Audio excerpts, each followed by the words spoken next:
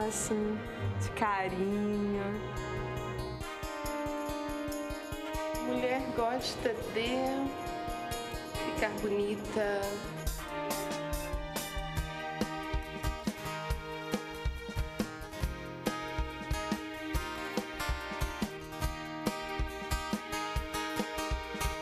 A gente quer ser feliz.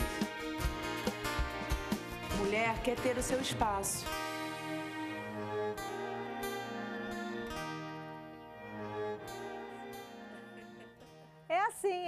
Nosso espaço feminino que começa começando segunda-feira. Muito bom ter a sua companhia hoje no tema família. Muito legal saber que você está aí e que nesse horário, três e meia hora de Brasília, horário inédito no espaço feminino, você está acompanhando essa programação aqui da Boas Novas.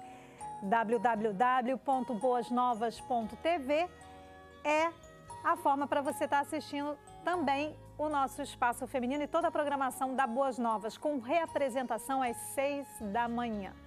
Bom, com a gente no tema família, a pauta Filhos Solitários, como ajudá-los? É a pergunta da nossa pauta com a psicóloga a pastora Gisela Xavier e o pastor Ronaldo Lucena. Bom tê-los aqui. Que bom, Márcia. E eu já passei já essa fase uma vez, sabia? É Passou? mesmo, pastor? É, De ficar com solitário 20 assim? Ah. Com 20, bom, 24 anos, 23 anos. Não, quando eu vim aqui pro Rio, né? Eu deixei lá em casa, lá, Manaus, a terrinha toda, aham. e vim morar sozinho. Claro que uma coisa é você mora sozinho, mas e uma coisa é você se sentir solitário, né? Mas eu tive algum momento de uma, uma crise lá, assim, de olhar que- para de olhar para o outro Sabe no o que espelho que é? assim e dizer Sabe- assim, quem é você?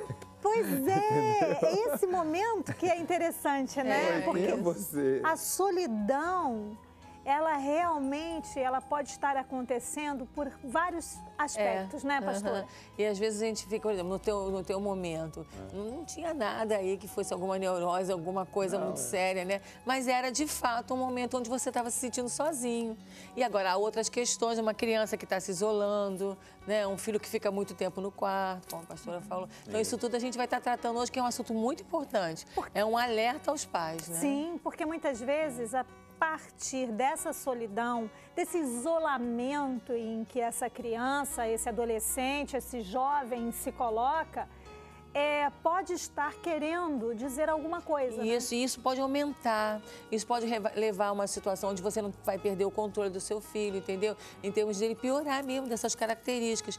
E ou, talvez você também tenha uma característica parecida com aquela mulher que a mãe que é muito tímida, e ela- ele pode estar repetindo, né? Aquela, entendeu? Então tem várias facetas aí para ver, né? um um dia desse, refletindo um pouco sobre isso, é, até essa questão mesmo de pensar sobre o cristianismo, né?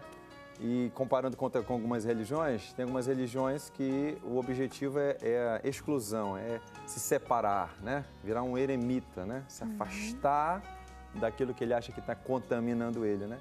E o cristianismo é o contrário, né? É a comunhão, não é verdade? É estar sair junto. é do estar- é. isolamento. É. Por isso que a, a igreja, quando no Salmo, no- no- em João 13, ele diz: eu, tra- eu sou o bom pastor, eu pego as minhas, as minhas ovelhas e levo para fora.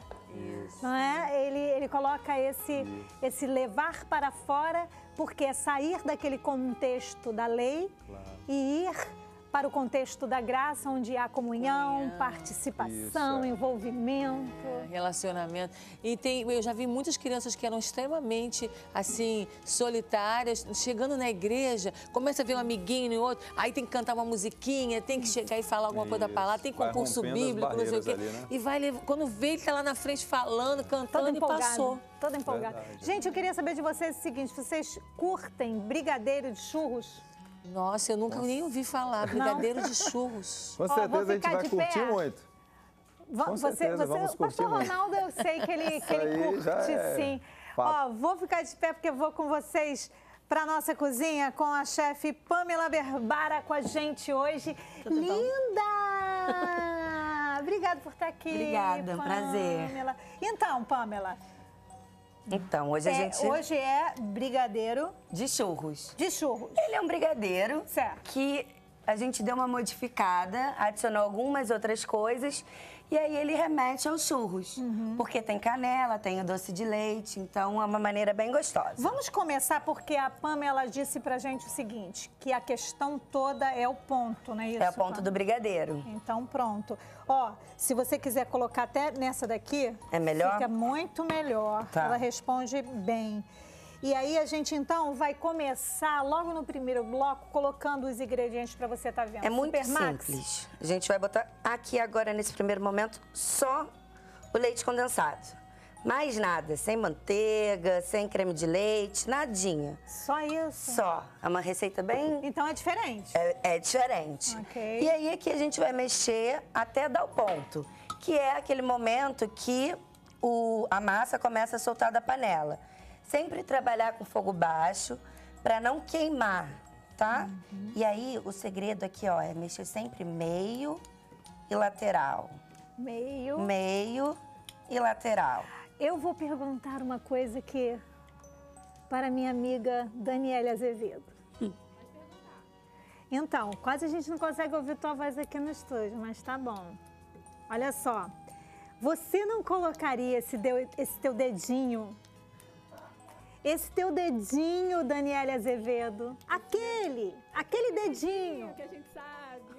Ela colocaria, porque agora a Daniela Azevedo está toda chique, Ah. com aliança no dedo de Eu noivado. sei, eu é? vi. Aí ela gostaria de colocar aqui exatamente aquele dedinho do noivado, Pamela. Fica bom para festa de casamento, de noivado, de tudo. Tá vendo, né, Dani? Dá pra, dá pra usar em tudo que é momento feliz. Então vai demorar esse processo. Uns de 8 a 10 minutos. A gente, quando começar a ganhar textura, eu mostro pra vocês. Pronto, então, aproveitando esse tempo, eu quero chamar vocês para a gente viver o momento de oração, enquanto aqui no Espaço Feminino as coisas são assim, ó, vão fluindo, vão fluindo, vão fluindo, vão ver. Bloco fui acontece, que é o último. Mas deixa a Pamela aqui que eu vou fazer com você um momento de oração. E esse salmo, nós estaremos durante a semana orando alguns trechos desse salmo, que é o Salmo 34. E no Salmo 34, há um convite do salmista, dizendo assim: olha, provem. Eu até postei hoje isso no meu Instagram. Estava caminhando, fazendo minha caminhada, e aquele mar lindo, e veio esse salmo. Eu falei: é esse o salmo de hoje, Senhor. Ele, o nosso Pai, nos convidando: provem, provem e vejam. Agora, que convite é esse em que você é convidado a provar? A provar para ter a sua própria experiência. Muitas vezes nós estamos muito envolvidos na nossa, na nossa relação com Deus a partir dos outros. Onde a história dos outros é a partir dela que nós provamos alguma coisa e vemos alguma coisa a respeito de Deus. Mas o convite de hoje é que você mesmo, ao provar você mesmo do teu Deus, de um Deus amoroso, perdoador, acolhedor, que te edifica, você veja que Ele é bom. Esse é o convite. Não viva das experiências dos outros, não. Hoje decida, eu mesmo, eu mesmo quero viver da minha própria experiência. Eu quero ter a minha própria experiência. Eu é que quero provar. Eu é que quero ver como meu Deus é bom.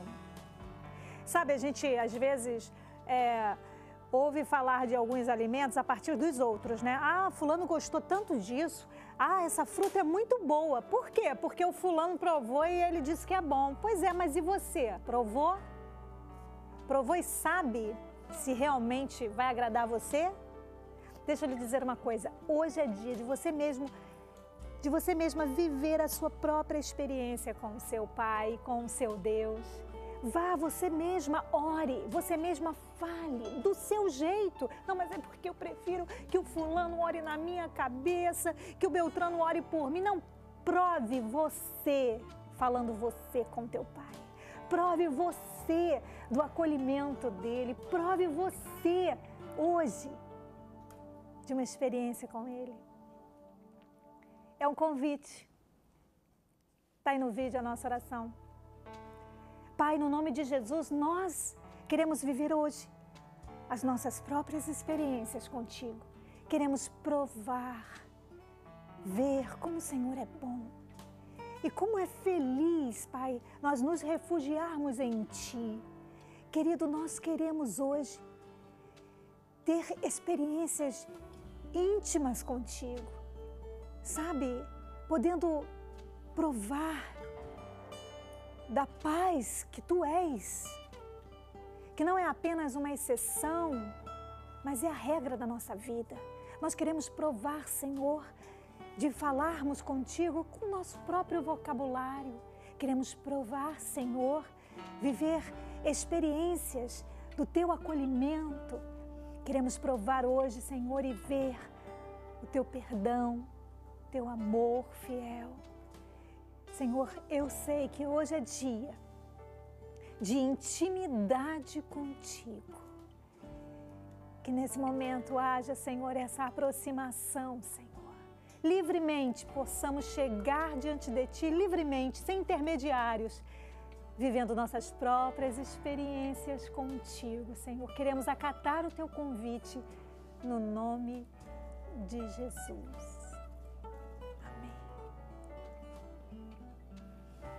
Às vezes você pode estar pensando o seguinte, ou pode pensar por esse momento da sua vida, não, se o fulano orar por mim, eu vou ser curado. Se o fulano orar por mim, essa porta vai se abrir. Tenha você essa experiência agora. Abençoe com a autoridade de Jesus seu próprio corpo. Coloque a mão no órgão que está enfermo e o abençoe na autoridade que Jesus te deu. Viva a cura a partir de Jesus, sem intermediários para o teu corpo. Viva você essa experiência. Diga você a essa porta que está encerrada, fechada, diga a ela com a autoridade que Jesus te deu, na capacidade dada por Ele a você, de que ela vai se abrir Diga a essa situação difícil, você, com a capacidade que Jesus te deu, com a autoridade, com o poder que Jesus te deu, diga você a essa situação difícil, a esse caos instalado, diga você, haja paz. Eu vou me manter em paz, porque eu tenho o meu Salvador e eu vou viver essa experiência eu mesmo, vou provar e ver que o meu Deus é comigo. Faça esse movimento. Daqui a pouquinho, depois do intervalo, a gente volta.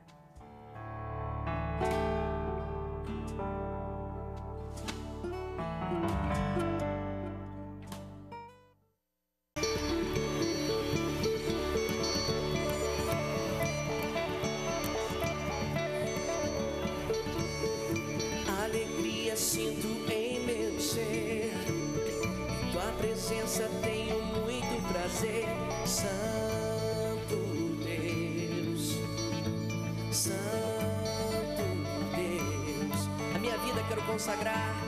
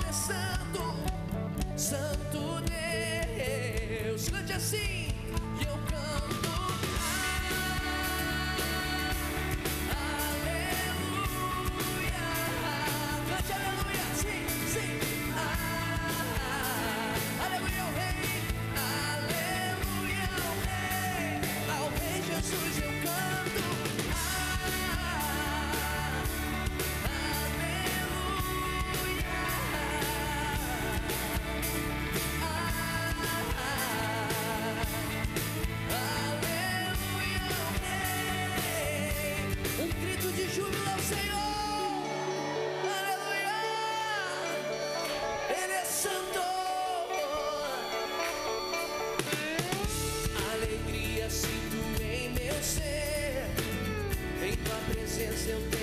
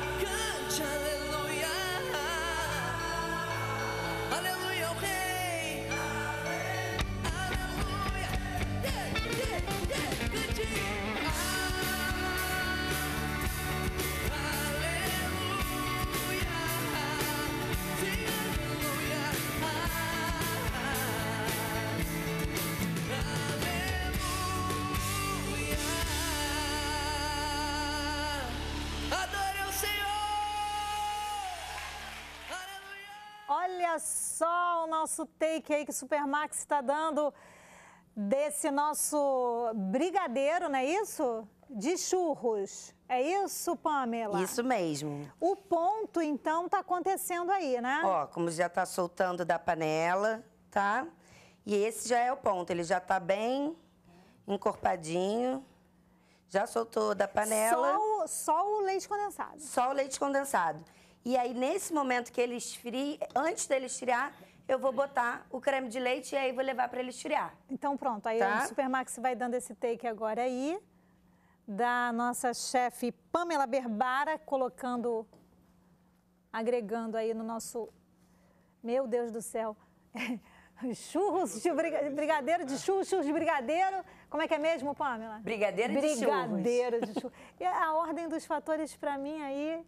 Nem você vai resistir, né? Hoje Hein? não, né? Não vai Hein? resistir hoje não, Ah, né? vai sim. Olha, eu. Não vai não. Vamos, vamos orar por ela aqui para quebrar essa, essa, essa fortaleza Olha isso, aí. gente. Olha isso. Agora, Pamela, me parece que tá, fi- ficou um pouco mais, Mole. mais molinho, né? É isso mesmo. Ah. Quando ele esfriar, ele ganha textura de novo. Ah. Esse creme de leite ele vai dar a cremosidade que a gente busca no brigadeiro, tá? Por isso que a gente não bota manteiga, porque o creme de leite também é uma fonte de gordura. Ok. Então já fica suficiente. Então, daí do Supermax pra cá, curta na tela.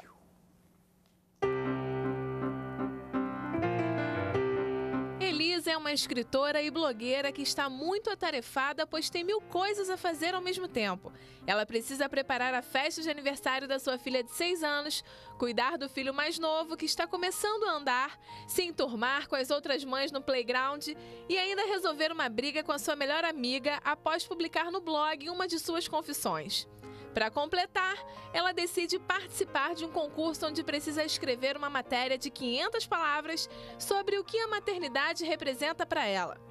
A maternidade como ela é, de maneira bem divertida, do jeitinho que a gente gosta. Corta na tela, uma mãe em apuros.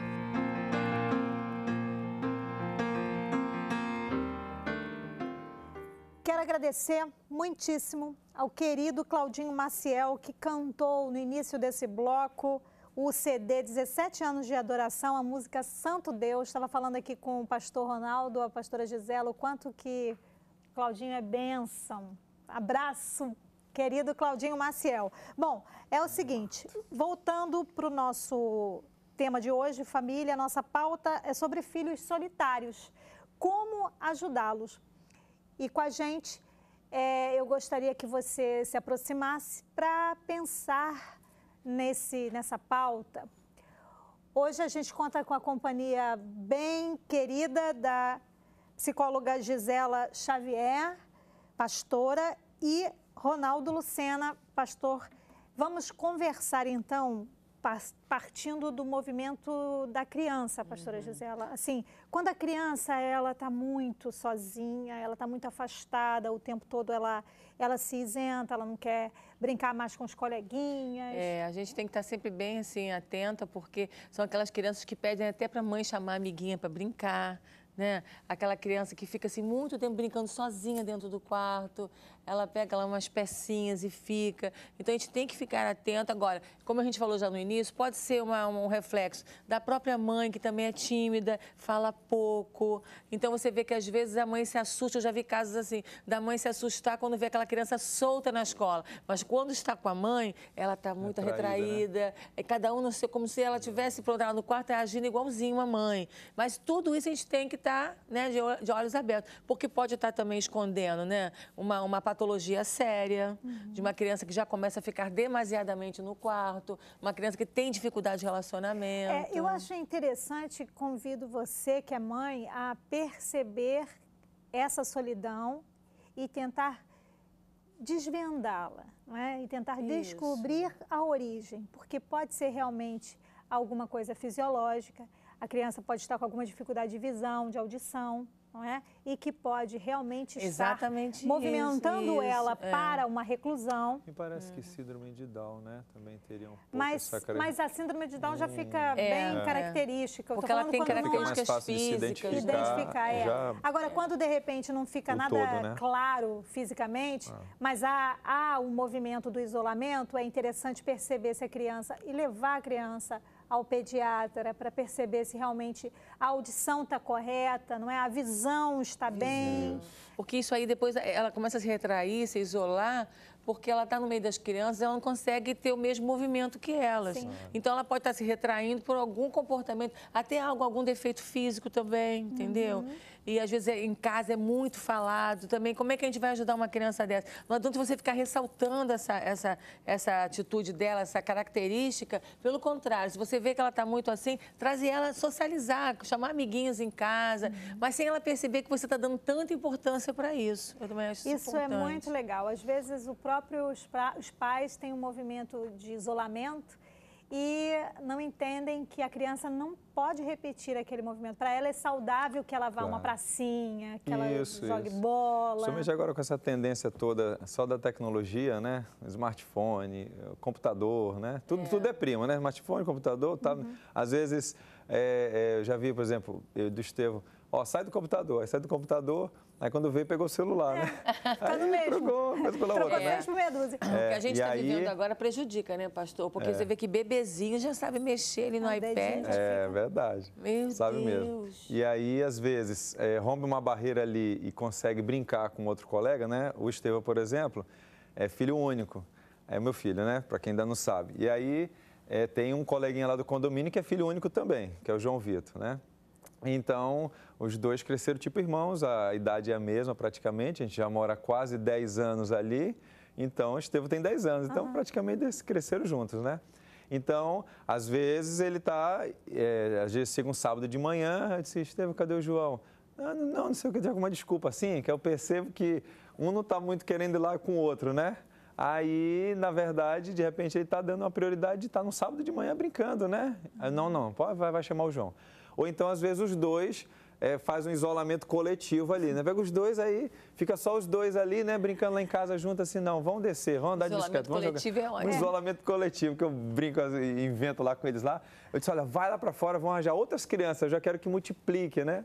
Isso aí, né? Agora, sabe, é, passando da infância e percebendo se realmente é natural essa... É, é, natural, eu não diria que é. Isolamento nunca é, É, natural, nunca, né? Mas assim, se dá para ser resolvido, né, alguma coisa mais fisiológica, uma questão mais fisiológica que, enfim, tenha um outro tipo de olhar, não é um olhar mais clínico, que esses pais então comecem a fazer esses movimentos de Isso. convidar a criança para sair de Isso. casa. Convidar a criança para sair de casa dando um eletroeletrônico para ela não vai funcionar. Tem que dar um, um brinquedo, uma Isso. pipa, um. um...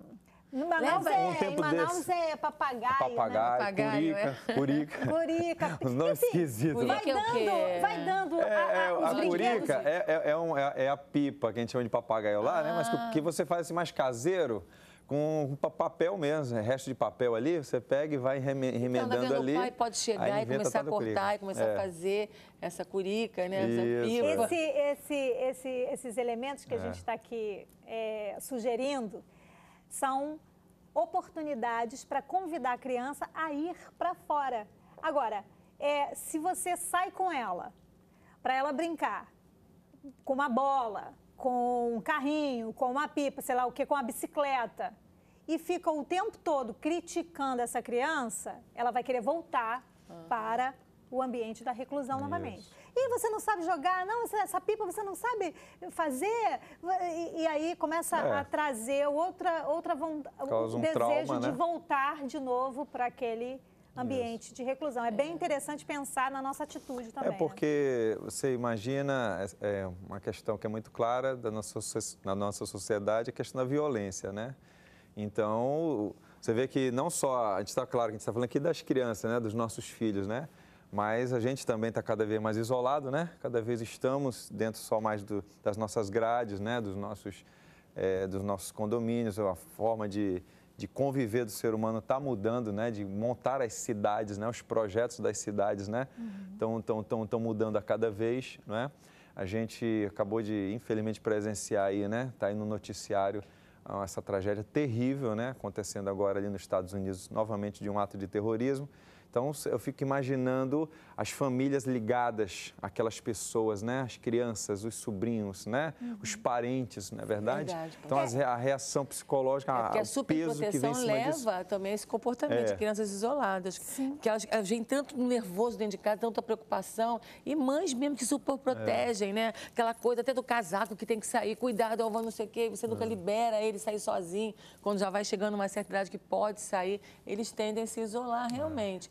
Ou então a negação, né, pastora? Aquela, aquele, aquela família que vê que a criança, mesmo no grupo, você levou para a passinha, mas ele se sente muito bem, ele fica sozinho ali naquele cantinho. A tendência dele é ficar sozinho. Então, é um olhar que tem que ser especial. E um olhar para se descobrir, né? Sim. É, assim como oração é algo que você tem que provar, né? o relacionamento com o Senhor, você tem que provar do que você está experienciando com o Senhor, a mesma coisa o seu filho, não existe outro igual a ele. Então, deixa eu descobrir o que, que ele gosta. Leva para a passinha e deixa. Agora, temos que gastar tempo para isso. Né? Agora, existe um outro lugar que é na adolescência, que é natural da adolescência, que é adole- o adolescente ele procure grupos em que ele se identifique. É. natural. Se veste tudo igual, Não é? né? É bem natural. É. Agora, quando esse, quando nós pais começamos a tolir isso, começamos a eh, limitar isso, é, isso tem que ser feito com bastante cautela. Eu vejo, Pastor Ronaldo, assim, um movimento de preocupação dos pais e pastora Gisela, e que de repente esse movimento ele pode ser assim um movimento de transferência de medo. O meu medo eu transfiro para você e você começa a ficar muito ah, envolvido com aquele medo. E mais tarde ele se desdobra de uma outra maneira. É interessante que mesmo que nós tenhamos receios, é que é interessante que a gente perceba os nossos receios e não transfira para os nossos filhos. E consiga romper aquilo ali. A gente sabe, claro, que o medo, vamos dizer assim, tem um, um aspecto positivo de ser uma defesa nossa também, né? Que eu preciso também ter aquele limite, né, de saber que eu não tenho peito de aço, né, para estar aí enfrentando tudo a É qualquer uma instante, emoção né? que ela tem uma gradação É. natural de Isso. preservação, mas ultrapassando essa, essa, essa, essa organicidade dessa emoção, essa naturalidade dessa emoção, Isso. aí já entra num contexto limitador. Pois é. Pô, é, Tem um provérbios que até, claro, o contexto ali é até batendo forte em relação à questão do preguiçoso, né, que manda a ver com, com a formiga e tudo mais, e tem um momento que diz assim, o preguiçoso olha e diz assim, lá fora tem um leão, não vou sair, né? Então imagina só, claro que o, o proverbista está chamando o cara de preguiçoso, mas vamos olhar aqui, trazendo para o contexto hoje aqui, né? Esse cara é um tamanho, do, um, um, o cara está vivendo um medo ali exacerbado, né? que ele está dizendo, caramba, eu tenho que ir lá para fora, mas lá fora tem um leão para matar cada dia. É tanto que na nossa cultura a gente usa essa linguagem, né? Diz assim, poxa, cada dia eu estou matando um leão. A gente ainda usa hoje aqui no Brasil, né? Isso aí para dizer que a gente tem que enfrentar muitas adversidades do dia a dia, romper esses medos, né? Senão você vai é, se isolar realmente. Uma, um, eu achei legal, um, um, teve um espaço feminino, eu acompanho o espaço feminino também, tá? Não só participo, não. Aí o que, que acontece? A Neide falou de uma experiência da questão da, com, a, com a, com a filha dela, né? Uhum. A Neide que trabalha aqui na Boas Novas, que é adolescente. Um medo que ela tinha, né, de liberar a filha para um determinado, determinado lugar, que ela achava que era um ambiente, né? É, que não que, era apropriado para ela. Não era apropriado e tal. Mas ela, conversando com a menina, rompeu aquele medo, inclusive viu uma situação positiva, né? Que a moça, até, a filha até disse assim, poxa, realmente não, não gostei muito não e tal, né? Mamãe, a senhora tinha razão. Olha que legal, né? Quer dizer, romperam o medo responsavelmente, né?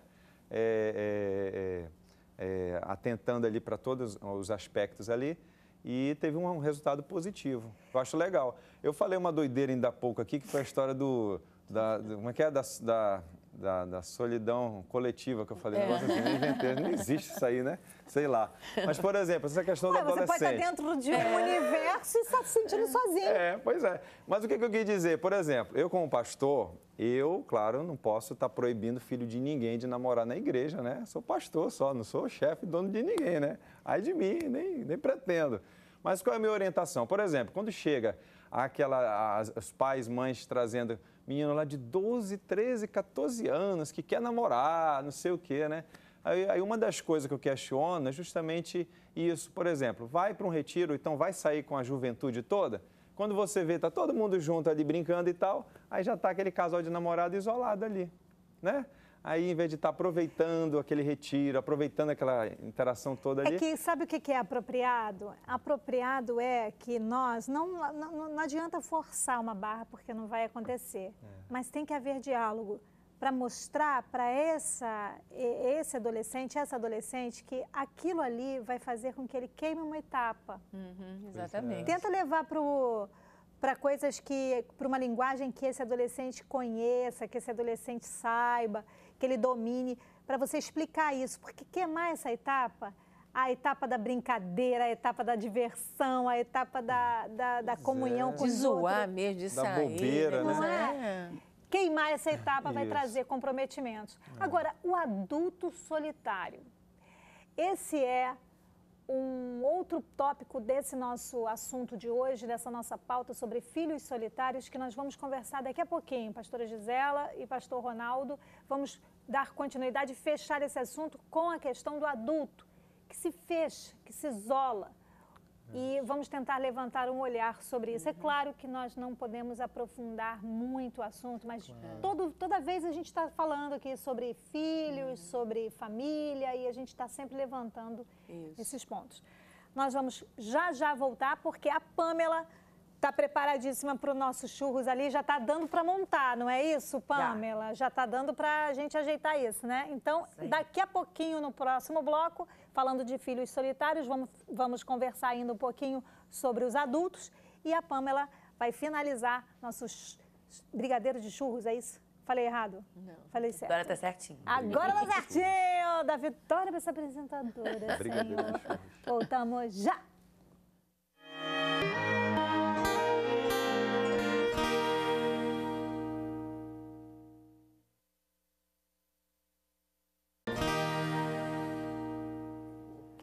Voltando com o nosso espaço e a gente fica aqui no intervalo falando, falando, falando, falando mais que a boca. Ó, volto já já com vocês para a gente Pronto. continuar com essa solidão e de filhos adultos. Pamela Berbara, você não é so, solitária não, né? Graças a Deus. Que é bom. Tenho muito amigo, meu namorado, minha mãe, é, minha família. Gente, é. É isso. Então vamos para o nosso churros. Brigadeiro de churros. Brigadeiro. Sabe o que, que, é isso? É culpa de Daniela Azevedo. Que fa... A culpa é minha, eu essa aliança hipnótica dela. uma pessoa que fala que a ordem dos fatores não altera o produto. Dessa vez altera, né? Eu não, amiga, matemática. Fala isso com a matemática, que ela é que diz que a ordem dos fatores não altera o produto. Mas vamos lá, vamos lá então pro nosso... Então, em geral, a gente enrola o brigadeiro e passa a manteiga na mão, certo? Certo. Vai mudar. A gente vai passar água, tá? Pega um pouquinho de água. Por que, que a gente vai passar água? Quando a gente passa a manteiga, muitas vezes, quando a gente vai passar o granulado, não gruda. Por quê? Que ficou muito oleoso. Porque fica oleoso. E aí, não tem pra quê. A gente pode enrolar, ó, com água, tá? Gente, que legal. Abre, faz tipo uma massinha assim. E aqui a gente fez um enroladinho. Compra aquele doce de leite em barra, corta e depois faz uma bolinha. E aí vou botar aqui dentro, ó. Fecho. Isso, isso vai ficar... Nathalie tá aí? Enrolou. Tô aqui babando, Márcia. Sabia! Eu sabia que ela ia estar Eu tô aqui- babando. eu tô aqui assim, um... Hum, gente, Ó. olha isso. tá? Vou fazer só mais um, porque vocês já entenderam mais ou menos como é que faz, né? Bota o doce de leite no meio, fecha. Não tem mistério, tá? De qualquer jeito, Agora com de novo. água, gente. Muito melhor. Pra quem tá com sentimento de culpa. É mais light, exatamente. E mais econômico. Bom, aqui a gente tem açúcar e canela, tá? Que remete aos churros também, certo? Certo. Vamos botar na forminha. Uma enroladinha mais bonitinha para ele ficar mais redondinho. Aí a água não deixa. Gruda tudo. E aqui, gente, a gente tem aquele doce de leite pastoso, tá? Olha. Caramba! Isso! E esse é o nosso brigadeiro de churros. Vou fazer Lá, o resto para vocês vamos, comerem vamos depois. fazendo, vamos Faz fazendo, mais? vamos fazendo, porque a cartelinha, a cartelinha tá aí no vídeo para você. A cartelinha da nossa chefe Pamela Berbara. Brigadeiro de churros. Você diz para elas os ingredientes? Uma lata de leite condensado, 600 ml de creme de leite, que é que a gente vai botar no final, e né? ali tá 60. Mas eu é falei 600. 600? Eu tô doida, desculpa, Ah, gente, é 60. Tá, tá, então A pessoa, às 60. Vai fazer muito tem- grande É ordem de grandeza, que é tudo muito, produzir demais. 60, 60 ml, tá certo. Tá? E aí depois vocês vão botar num outro potinho o açúcar e a canela. É a gosto, tá, gente? Mas só para ter uma ideia, vocês podem botar 150 de açúcar e umas duas colherzinhas de canela, tá? E 100, de, 100 gramas de doce de leite, que tem que dividir entre o pastoso e esse cremosinho, tá? Não é facinho? Ai, gente, facinho. Agora você vê que coisa. Não tem dificuldade nenhuma. Tranquilão. Tranquilão. Daqui a pouco vocês comem. E me contam o que que vocês vão achar, se tá Quero gostoso só mesmo. ver. Bom, temos quantas pessoas aqui? Fecha o estúdio, tá? Não tem. Fechou. Só com 100 agora. 1, 2, 3, 4, 5, 6, 7, 8, 9, 10, 11, 12, 13, 14, 15, 16, 17, 18, 19, 20. Fazer. Vai, tem bastante, dá pra todo mundo. Ó, seguinte, felicidades para você que está fazendo aniversário hoje, está com a gente aqui no nosso espaço. Provem e vejam, tenham suas próprias experiências com o Senhor, como o nosso Pai é bom, como é feliz o homem, a mulher que nele se refugia. É o Salmo 34, versículo 8. Felicidades. Felicidades mesmo. Bom, voltando aqui para nosso nossa conversinha, nosso tema família, a pauta filhos solitários, como ajudá-los, nós temos os filhos adultos, né? Que muitas vezes estão vivendo aquela solidão, não querem mais sair da casa dos pais. E ah, os pais ficam ali meio que, né? E agora? Não ata nem desata, é mais confortável viver ali, é, o ambiente seguro. Não quer É, sair para lugar enfrentar o comum. leão, né? Não quer sair para enfrentar o leão. quer sair, É, enfrentar o leão. para matar fora, né? também, né? O urso, o. É verdade. Mas isso tem uma origem também, não é, pastora? Não é Às vezes as pessoas dizem assim, É. fulano é, é solitário do nada, do nada Do não. nada. É, tudo a gente pensa que é do nada, mas não é. Tudo tem uma história. Realmente deve ter sido uma criança solitária, que não foi vista, né, assim, de perto, que não se cuidou. E já é um outdoor piscando. Uma criança solitária, um adolescente muito solitário, é um outdoor piscando assim, olha, uff, preciso de ajuda, né? Tem que fazer alguma coisa. Porque esse, esse adulto solitário, se chega alguém em casa, se ele foge, se ele vai para dentro do quarto, é pior ainda, entendeu? Se ele- é difícil. Aquele que é solitário, adulto, é difícil você receber uma visita e ele vir eh, ficar com a visita, né? Então, o eu dele já está ficando ali meio dissociado. Eu já acho bastante complicado, mas pode ser por N causas também, né? Então, a, a- a- grande proposta é que se a solidão, a reclusão já acontece na infância e está se prorrogando para a adolescência, é muito interessante que o trabalho já comece a ser movimentado, né, Pastor Ronaldo? Porque o que, que é, que, que tipo de trabalho seria? Por exemplo, um atendimento psicológico. Isso eu acho fundamental e é muito apropriado, porque tem alguma coisa que vai fazer a diferença no movimento, no atendimento psicológico, as coisas podem se ajustar. É, não ficar fingindo que não está vendo, né? Está vendo as dificuldades. Acho que o pai e a mãe já se sentem culpados, né? Então, inconscientemente, eles. Não, não, meu filho é normal. O pessoal que. A professora que está inventando, a professora que é isso, né? É, por, por coincidência, ontem eu estava conversando com o pai na igreja e ele estava me falando da filha dele. Realmente, a forma como a professora falou, ela fechou a situação e deu um diagnóstico assim que eu também achei muito forte para uma criança que ainda vai fazer quatro anos.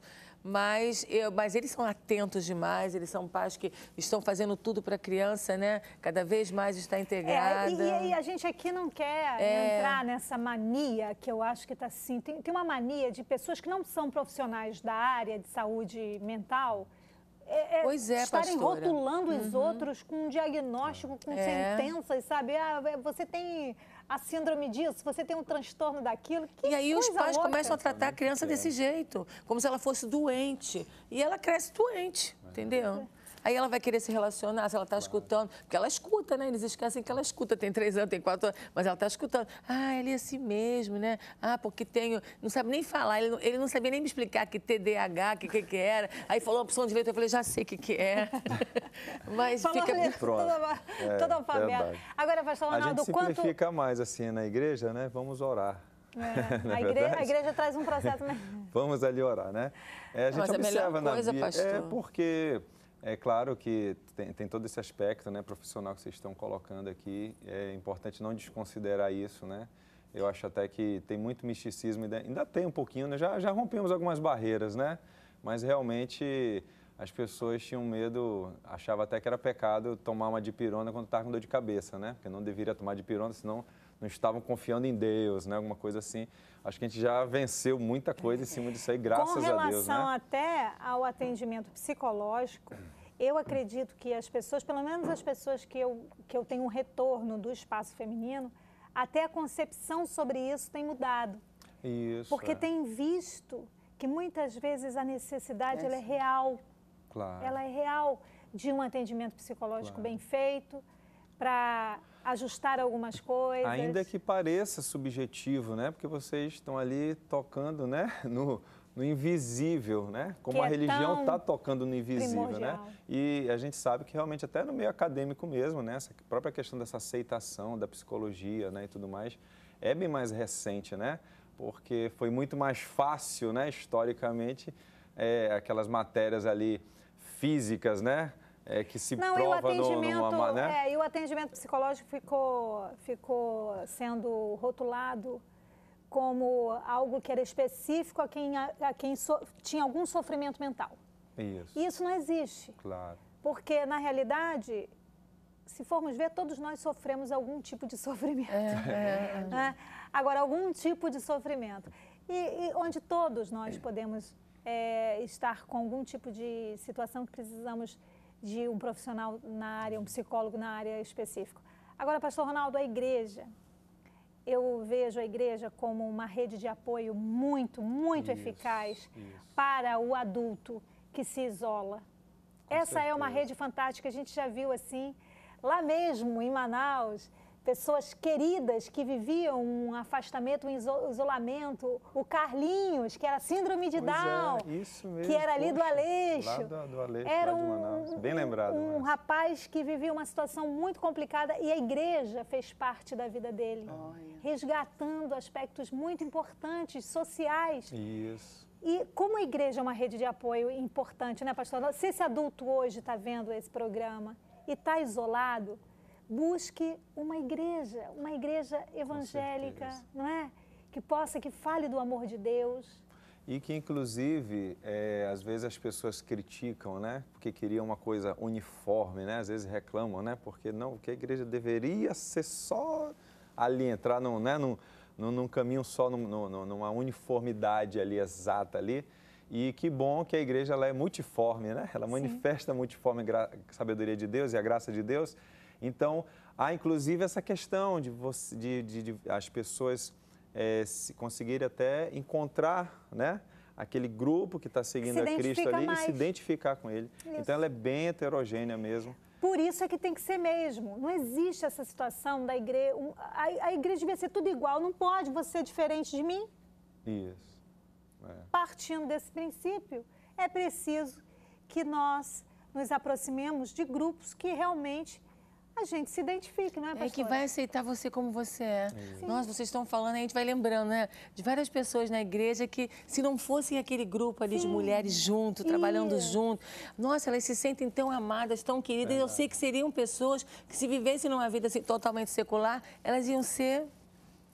Elas iam ficar isoladas, com Iam. certeza, pastora. Mas tem Como é que vai faz bem? Igreja é lugar de aceitar. cura, né? É, Com certeza. em todas as áreas. Ah, ah, então é por isso que realmente, de- desde o início do programa, acabou que a gente está indo bem em cima dessa tecla, né?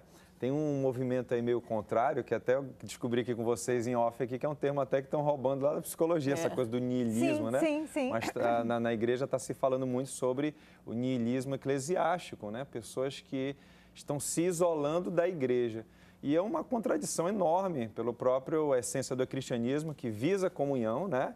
E da questão do, de ser igreja. Igreja, ela é coletiva, não existe igreja individual. Igreja, ela é coletiva. né? Agora, quando uma pessoa chega a esse ponto de achar que ela não precisa estar em comunhão, é preciso ela resgatar algumas coisas dentro da leitura bíblica, não é? O próprio capítulo 10 de Hebreus, lá no finalzinho, ele diz: olha, não se esqueçam de estarem em comunhão uns com os outros, em viverem, em partilharem do Pra pão. estimular as boas Exatamente. obras. Agora, a ideia toda é que quando uma pessoa chega a esse ponto da solidão, ela realmente ela está mergulhada em equívocos, mergulhada em muitas dificuldades que precisam realmente serem ajustadas, né, pastora? Porque a Com comunhão, certeza, é. o estar É, perto, é. nossa, a gente cresce. Nossa, muito. O outro pode até ser um esmeril. Mas olha que esmeril legal, vai lá, vai me lapidando. É, mas é o Isso jeito que o mesmo. Senhor usa. Tem que dar uma né? afastada do É. esmeril, que o esmeril demais ele dá. Às vezes pode- machuca, né? Ficar na flor da Consumir pele. tudo, né? É. É. Eu estava Mas o lembrando Salmo 133, né, pastor? quão bom e quão suave é. É ali os que ele, irmãos ele ordena a união, bênção. né? E onde, É. exatamente, e onde existe a comunhão, o Senhor ordena essa bênção. É, foi Agora, sabe o que, que acontece muitas vezes a solidão? quase que veio Deixa, aqui. desculpa aqui, mas é que a solidão, muitas vezes, você pode estar achando assim, ah, sabe por que, que eu sou só? Sabe por que, que eu não vou, fico mais em lugar nenhum? Porque todo mundo erra, todo mundo falha, todo mundo não presta, só querem o meu dinheiro. Então, é melhor o seguinte, você acordar, bem-vindo à Terra, né? Ah, pois é. E é melhor que você desperte para o seguinte: aqui não haverá lugar perfeito, porque as pessoas são imperfeitas. Isso. Elas vão falhar. É porque podem ter sido pessoas que se decepcionaram muito, né? Mas não desista não, porque você também não é perfeita, né? É? Exatamente. E, e é um pouco arrogância, né? Nós acharmos. É um pouco de arrogância que a gente tem que quebrar, que a gente tem Claro, que visitar esse lugar Com da arrogância e certeza. dizer assim: peraí, O... Tem um livro da Bíblia que é Eclesiastes, foi escrito pelo rei Salomão, né? Rei de Israel, filho de Davi. E aí ele diz assim, em determinado momento, que é melhor é, estar em dois do que um. No, no- no- no frio, olha aí, a gente está no inverno aí, né? Dois se aquecem mais do que um sozinho. cordão né? de três Cordão de três dobras. dobras. Não se arrebenta. Não se arrebenta. É, e andando juntos, um caindo, o outro levanta. outro Ele faz essas levanta. três comparações aí. Legal demais. Então, quer dizer, coisas práticas. Cadê? Eu queria. Vamos lá, vamos desafiar trazer argumentos que digam, não. Você tá vai- vendo? vai, Olha vai só. desfazer um argumento desse. Esse né? assunto não para, É. a gente continua em outros programas. Vamos para o intervalo. Verdade. Voltamos já.